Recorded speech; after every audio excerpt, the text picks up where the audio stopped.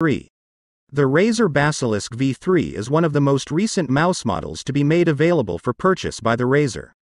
The vast majority of players who are seeking for a reliable all in one experience will find that it is an easy suggestion to make due to its extensive selection of customization and RGB possibilities. You are getting a really powerful RGB underglow effect that provides one of the more inventive applications of LEDs that we have seen in a while, in addition to new switches of the second generation in the primary buttons of the controller. The intelligent scroll wheel, on the other hand, is probably the feature that has impressed me the most.